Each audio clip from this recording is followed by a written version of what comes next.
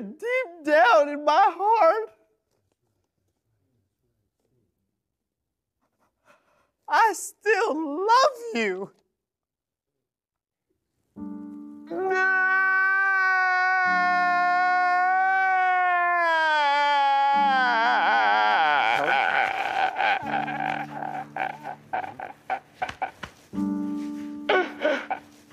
Uh... Uh...